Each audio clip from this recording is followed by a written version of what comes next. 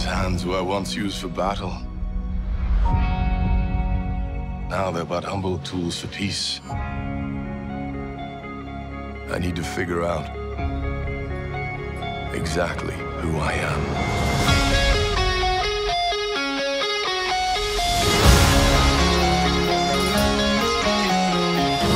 I want to choose my own path, live in the moment.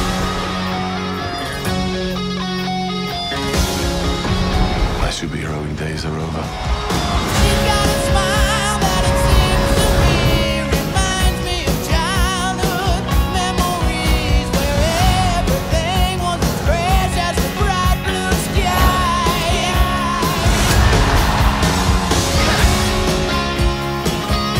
Remember what I told you? You ever feel lost?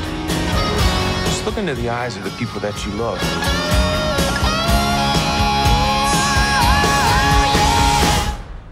Me. What? Just listening.